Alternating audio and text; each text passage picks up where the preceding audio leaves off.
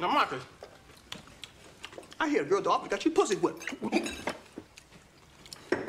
Why don't you reverse it? Don't be pussy whipped. Whip that.